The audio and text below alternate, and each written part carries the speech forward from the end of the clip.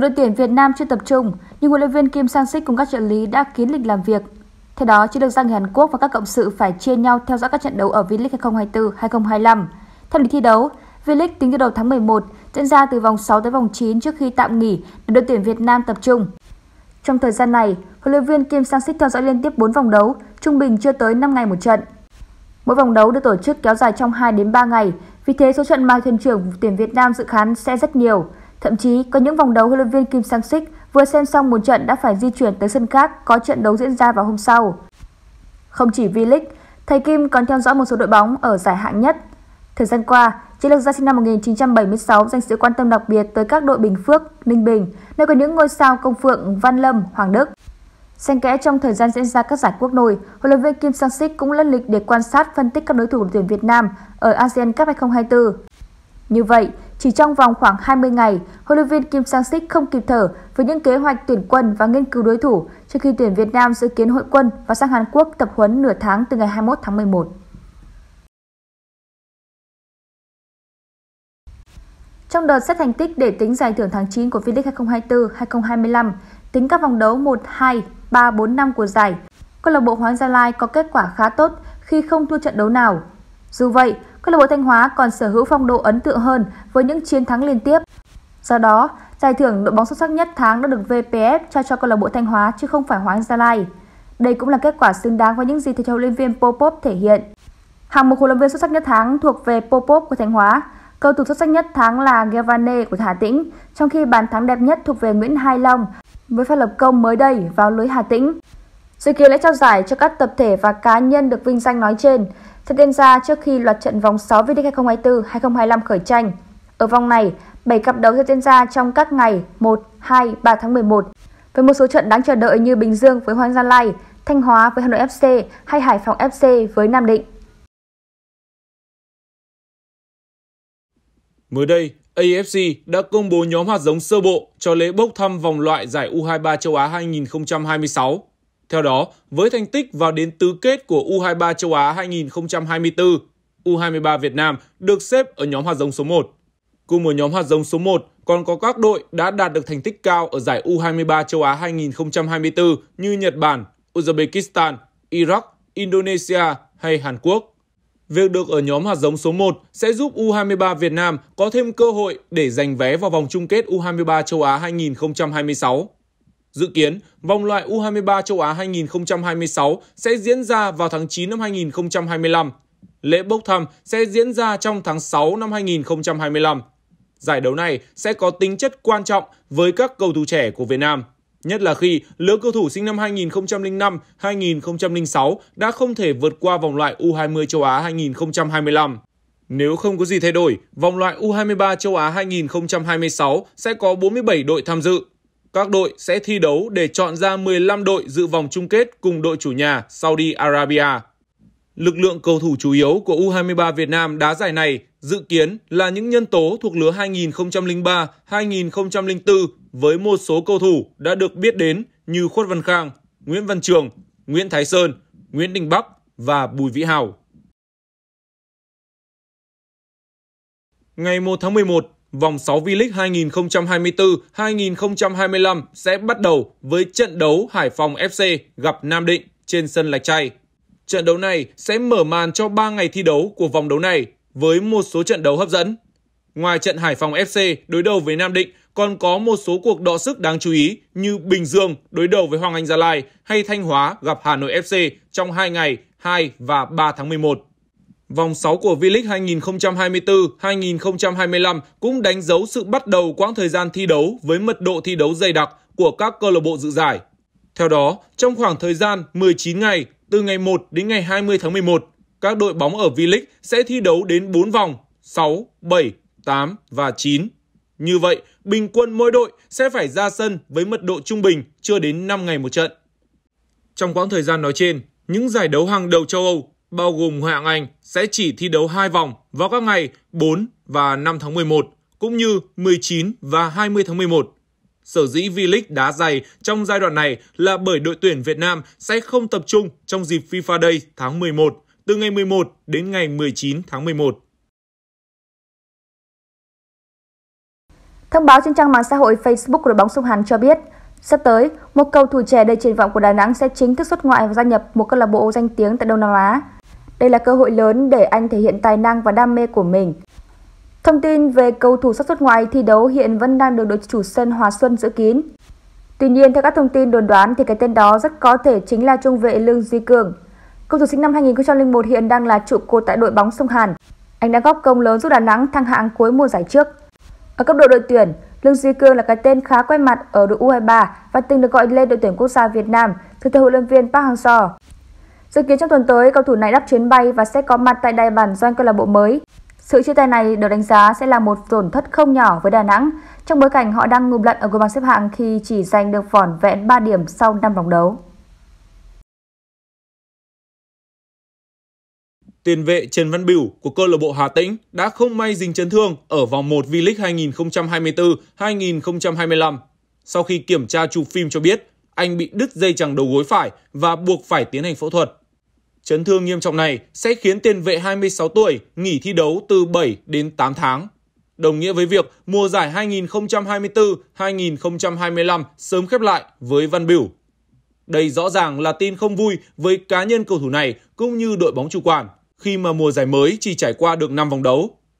Cập nhật về tình hình chấn thương sau phẫu thuật, Văn Bửu cho biết, chấn thương của tôi đã phẫu thuật được 4 tuần và giờ đang tiến hành tập hồi phục. Thời điểm này, tôi vẫn phải nhờ đến nạng để đi lại và phải cỡ 7 tuần mới được bỏ nạng. Hy vọng chấn thương sẽ hồi phục ổn để tôi sớm quay lại sân cỏ. Văn biểu được đánh giá cao nhờ khả năng lên công về thủ nhịp nhàng anh từng được huấn luyện viên Park Hang-seo triệu tập lên U23 Việt Nam chuẩn bị cho vòng loại U23 châu Á 2019. Câu lạc bộ Hà Tĩnh đang có khởi đầu như ý ở V-League 2024-2025 khi đứng thứ tư trên bảng xếp hạng với 9 điểm sau 5 vòng đấu. Bất chấp việc không sở hữu dàn sao, đoàn quân dưới quyền huấn luyện viên Nguyễn Thành Công đang thi đấu ấn tượng và duy trì thành tích bất bại kể từ đầu mùa. Trước khi ASEAN Cup 2024 diễn ra, đã có nhiều thông tin cho rằng đội tuyển Indonesia sẽ tham dự vào đội hình U23 và người dẫn dắt không phải là huấn luyện viên Sinteyong. Dù vậy, một thành viên ban chấp hành Liên đoàn bóng đá Indonesia xác nhận huấn luyện viên Sinteyong vẫn sẽ dẫn dắt đội tuyển Indonesia thi đấu ở ASEAN Cup 2024. Thành viên này cũng khẳng định lực lượng của đội tuyển Indonesia tại giải đấu tới sẽ hoàn toàn do huấn luyện viên Shin Tae-yong quyết định lựa chọn. Chỉ cần huấn luyện viên người Hàn Quốc thuyết phục được các câu lạc bộ nhà người, PSSI sẽ không can thiệp. ASEAN Cup 2024 diễn ra không trong thời gian FIFA Days nên các câu lạc bộ không bắt buộc phải nhà người cho các đội tuyển quốc gia. Vì thế, đội tuyển Indonesia gần như sẽ không thể có được sự phục vụ của những cầu thủ nhập tịch từ châu Âu. Bên cạnh đó, giải vô địch quốc gia Indonesia sẽ diễn ra bình thường khi ASEAN Cup 2024 khởi tranh nên các đội bóng hàng đầu ở quốc gia này cũng khó lòng để các trụ cột lên tuyển. Về mục tiêu của đội tuyển Indonesia, về cơ bản, đội bóng này sẽ hướng đến chiến thắng trước các đối thủ mạnh và xa hơn là chức vô địch khi đội tuyển Indonesia chưa từng đăng quang trước đây. Theo lịch thi đấu, cuộc đọ sức giữa đội tuyển Việt Nam và đội tuyển Indonesia ở ASEAN Cup 2024 sẽ diễn ra ngày 15 tháng 12 trên sân Mỹ Đình. Thưa quý vị và các bạn, theo lịch thi đấu và trực tiếp bóng đá ngày hôm nay, ngày 1 tháng 11, thì người hâm mộ bóng đá Việt Nam sẽ tiếp tục với cái guồng quay của vòng đấu thứ 6 V-League 2024-2025 và ngày hôm nay diễn ra một trận đấu duy nhất thôi. Và trước khi đến với cái lịch thi đấu cụ thể và thông tin về trận đấu này thì quý vị và các bạn có thể ủng hộ Thuật Thể Thao bằng cách bấm đăng ký kênh, bấm like video cũng như là đưa ra dự đoán về mặt tỷ số của trận đấu này ở phía dưới phần bình luận. Xin cảm ơn ờ, quý vị và các bạn rất nhiều. À, thưa quý vị và các bạn theo lịch thi đấu và trực tiếp bóng đá ngày hôm nay thì sẽ diễn ra trận đấu duy nhất uh, trận đấu sớm của cái vòng đấu này đó chính là màn so tài của uh, đội Hải Phòng với đội Nam Định diễn ra vào lúc 19 giờ 15 tối ngày hôm nay trên sân vận động Lạch Tray. Đấy. Đây là trận đấu sớm nhất của vòng đấu này. À, ban đầu thì cái lịch là ngày 1 tháng 11 sau đó thì à, có cái thông tin là muốn đổi sang ngày mùng 2 mặc dù vậy sau đó ban tổ chức cũng như các câu lạc bộ họ đã thống nhất là vẫn giữ nguyên cái lịch thi đấu ban đầu là đá vào ngày 1 tháng 11 và vào tối ngày hôm nay. Thì chúng ta biết rằng là trước khi bước vào cái trận đấu này thì cả hai đội bóng này đều có cái trận đấu thực sự là không tốt ở vòng đấu trước. À, về phía đội Hải Phòng thì đội bóng này à, gặp rất nhiều may mắn thì ở trận đấu trước mới có được một kết quả hòa trước đội à, à Đà Nẵng trong khi đó thì à, đội Nam Định đã có một kết quả không tốt khi mà tiếp đón đội Công an Hà Nội trên sân vận động Thiên Trường. Chúng ta biết rằng là ở sân vận động Thiên Trường ở vòng đấu vừa rồi ấy thì ờ, đội ờ, Nam Định đã à, chơi không tốt và để cho công an Hà Nội họ giành thắng với tỷ số là ba bàn cách biệt giành thắng 3-0 ngay trên sân Thiên Trường. Thực ra thì ở trận đấu đó nếu như Nam Định mà à, tận dụng cơ hội và ghi được bàn thắng trước ấy, thì có lẽ rằng là mọi chuyện nó sẽ không à, bi đát như vậy đâu vì trận đấu đó thì Nam Định à, có cơ hội rất ngon ăn nhưng mà Nguyễn Xuân Son lại sút bóng vào uh, cột dọc sau đó thì Lý Công Hồng Anh ghi bàn nhưng mà lại không được công nhận vì thế cho nên là sau đó à, đội công an họ đã ghi được bàn thắng và à, buộc Nam Định phải dâng cao hình hơn nữa để tấn công và à, công an họ chỉ cần chỉ chờ có thế thôi để mà tung cái đòn trừng phạt và trong một ngày mà Vũ Văn Thanh, Leo Arthur cũng như là Alan tỏa sáng thì đội bóng của huấn luyện viên Vũ Việt đã vỡ vụn ngay trên sân nhà của mình. Thì sau cái thất bại này thì đội um, Nam Định đã tụt xuống cái vị trí thứ 8 trên bảng xếp hạng mới có 7 điểm thôi. Trong khi đó thì đội Hải Phòng chúng ta biết rồi, Hải Phòng thì từ đầu mùa giải tới giờ thì chưa có được cái chiến thắng nào cả. Họ hòa 3 trận và à, ừ, thua hai trận. Trong số những cái trận đấu mà đội bóng này đã thi đấu vừa qua thì đặc biệt là trận đấu gần nhất gặp đội Đà Nẵng thì chúng ta thấy rằng là Hải Phòng gặp ừ, khá là nhiều vấn đề đấy. Khả năng à, chắc chiêu cơ hội đang là không tốt rồi, khả năng phòng ngự cũng cũng rất là báo động và khi đặc biệt là khi mà Triệu Việt Hưng nghỉ thi đấu vì chấn thương. Có rất nhiều lý do khiến cho Hải Phòng đang có cái thành tích không tốt, đang khiến cho huấn luyện viên Chu Đình Nghiêm có cái khởi đầu với lịch phải nói rằng là tệ bậc nhất trong sự nghiệp đúng không ạ? À, đó là cái lực lượng của Hải Phòng mùa giải hôm nay nếu như so sánh với mùa giải trước thì đã không tốt bằng rồi. Trong khi đó thì uh, cái lịch thi đấu của đội Hải Phòng trong thời gian gần đây là cũng từ đầu giải đến giờ cũng gặp toàn những đối thủ mạnh thôi cho nên là rất là khó khăn. Đấy, gặp Bình Dương gặp bây giờ là gặp Nam Định xong gặp Công an Hà Nội toàn những đối thủ khó chơi. Cho nên là để mà giành được kết quả thuận lợi thì không phải là dễ một chút nào cả. À, mặt khác thì cái chấn thương nó khiến cho đội hình của đội à, Hải Phòng nó bị bị mỏng hơn. Đấy và từ đầu mùa giải tới giờ thì chúng ta thấy rằng là cái mảng miếng tấn công của đội Hải Phòng là có, nhưng mà khả năng chắc chiêu gọi lại không tốt. Lu Cao thì ở trận đấu trước có cơ hội rất ngon ăn nhưng không tận dụng thành công. Thì đối đầu với Nam Định ở cuộc đọ sức ngày hôm nay thì chúng ta thấy rằng là là một khó khăn đối với Hải Phòng. Cho dù là cái lịch sử đối đầu của Hải Phòng đối với đội à, à, Nam Định trong những lần so tài gần đây là rất tốt. Nếu như tính trong 10 lần so tài gần đây ấy thì đội Nam Định tính ra là chỉ có thắng có một trận trước đội Hải Phòng thôi. Và thua tới uh, thua tới 7 trận. Đấy, Hải Phòng giành 8 chiến thắng cơ đúng không ạ? Tuy nhiên thì nếu như tính chỉ tính trong 5 lần so tài gần đây thôi thì cái những cái trận đấu của đội Hải Phòng với Nam Định là khó khăn lên rất là nhiều rồi. Bởi vì đơn giản thôi. Vì Nam Định họ bây giờ họ đã nâng cấp hình lên là mạnh rồi. À, đội hội đội họ đua vô địch chứ không phải như ngày xưa là đua trụ hạng đúng không ạ? Thì à, ở mùa giải năm ngoái thì Nam Định đã thắng 3-1 trên sân Lạch chay luôn thì chúng ta thấy rằng là ở thời điểm hiện tại mặc dù là Nam Định cái lối chơi của Nam Định là à, chưa thực sự thuyết phục đâu tuy nhiên thì với cái à, khát khao về cái quyết tâm để mà trở lại cái cuộc đua vô địch và với cái việc mà bị đánh bại vòng đấu trước với tỷ số rất đậm thì họ đang bị tổn thương. Đây là trận đấu mà huấn luyện viên Vũ Việt là các học trò mình chắc chắn sẽ muốn hướng tới là giành 3 điểm. Mặc dù là vắng tôn Vũ ở vòng đấu này nhưng mà à, Nam Định vẫn có những cái quân bài để có thể à, thay thế được. Văn Kiên vào đá vẫn ok đúng không ạ? À, cái lịch sử mới đầu trong cái trận đấu này thì đang nghiêng về phía Hải Phòng nhưng mà trong một trận đấu ở thời điểm hiện tại như này thì sẽ chỉ mang tính chất minh họa mà thôi. Và à, từ đầu mùa giải tới giờ thì mình đánh giá là Hải Phòng chơi như này thì sẽ rất khó thắng được Nam Định rất khó. Nếu như mà chơi tốt nhất có thể may ra thì đội bóng của huấn luyện viên Chu Đình Nghiêm sẽ có được một điểm trước đội Nam Định mà thôi. Còn nếu như hàng phòng ngự của Hải Phòng mà cứ chơi uh, mắc những cái sai lầm và để hớ hình như những cái trận đấu gần đây thì không ngoại trừ khả năng Hải Phòng sẽ bị thủng lưới trước và nếu như để Nam Định ghi bàn trước để Nguyễn Xuân Son để Henryo hay là để um, Lucas Silva ghi bàn trước ấy thì cái việc mà vỡ trận hoàn toàn có thể xảy ra vì khi đó Hải Phòng sẽ buộc phải dâng cao hình để tấn công và Nam Định là rất thích gặp những đội bóng mà chơi theo cái phong cách là dâng cao hình như thế. Với cá nhân thể thao đánh giá thì mình cho rằng là Hải Phòng nếu có quyết tâm đủ lớn và chơi đúng với cái sức mình và làm tốt nhất có thể thì hoàn toàn có thể kiếm được một điểm nhưng như thể thao đã nói, nếu như mà không cải thiện được cái bộ mặt của mình thì Hải Phòng khả năng trắng tay trận đấu này là rất cao. Thưa quý vị và các bạn, cuối tuần này thì vòng 2 giải hạng nhất quốc gia mùa giải 2024-2025 à, sẽ khởi tranh cái vòng đấu thứ hai. Và trước khi đến với cái lịch thi đấu và bảng xếp hạng của giải hạng nhất quốc gia, quý vị và các bạn có thể ủng hộ thuật thể thao bằng cách bấm đăng ký kênh, bấm like video, à, dự đoán tỷ số các trận đấu ở vòng đấu thứ hai này ở phía dưới phần bình luận. À, xin cảm ơn à, quý cô chú anh chị và các bạn rất nhiều. À, thưa quý vị và các bạn như chúng ta đã biết ở vòng đấu đầu tiên ấy thì kết quả các trận đấu của giải hạng nhất là như sau. Huế và Đồng Tháp hòa nhau với tỷ số là một đều, Hòa Bình với Bình Phước hòa nhau với tỷ số 0-0. Đây là trận đấu mà Bình Phước mặc dù được đánh giá cao hơn, tuy nhiên thì à, trước một cái đội Hòa Bình chơi phòng ngự phản công à, kín kẽ thì đội bóng của à, huấn luyện viên Anh Đức đã không thể hiện được quá nhiều và ngày hôm đó thì Công Phượng chơi không tốt cho lắm cho nên là À, bị à, cầm hòa với tỷ số không đều.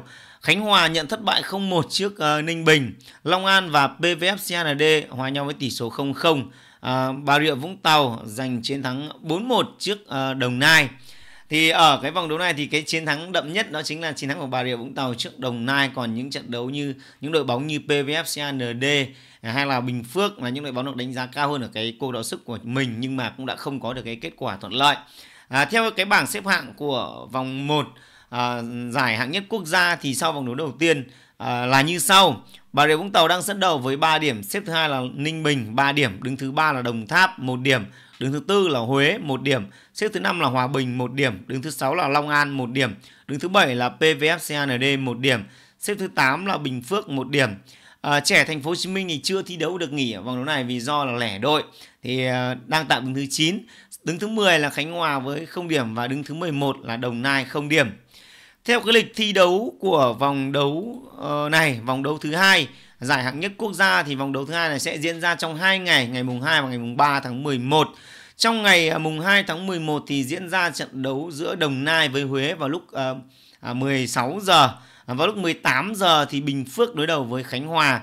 À, đây là trận đấu mà Bình Phước được trở về sân nhà và trước một đội bóng Khánh Hòa bị đánh giá thấp hơn thì đây là cơ hội rất lớn để cho à, Bình Phước tìm kiếm cái chiến thắng đầu tiên ở mùa giải năm nay. Thực sự mà nói thì cái chất lượng đội hình của Bình Phước ở thời điểm hiện tại thì được đánh giá cao hơn rất nhiều so với à, Khánh Hòa đấy. Cho nên là nếu như mà chơi tốt và tận dụng tốt các lợi thế sân nhà của mình thì Công Phượng và các đồng đội hoàn toàn có thể giành chọn được 3 điểm. Còn đương nhiên rồi nếu như mà chơi bế tắc như trận đấu vừa rồi gặp Hòa Bình thì thực sự là cũng dễ rất là khó để mà giành được chiến thắng. Bởi vì Khánh Hòa cho dù yếu nhưng mà đội bóng này là làm đội bóng có tổ chức rất là tốt. À, vào lúc ờ, 15 giờ ngày 3 tháng 11 thì PVF CND gặp Hòa Bình. Thì đây là trận đấu mà đương nhiên rồi, PVF CND được đánh giá cao hơn.